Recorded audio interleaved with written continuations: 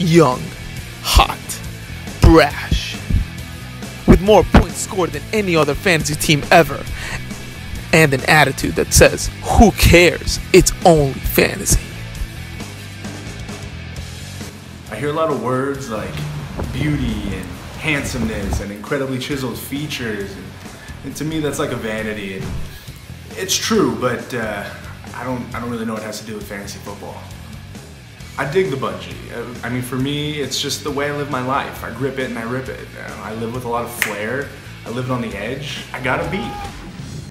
I wasn't like every other kid, you know, that dreams of being an astronaut. I was always more interested in uh, what bark was made out of on a tree. Stephania Bell is a real hero of mine. Berry, Matthew Berry would be another person who's a real hero.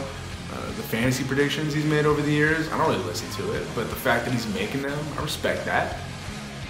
I care desperately about what I do. Do I know who I'm starting this week? No.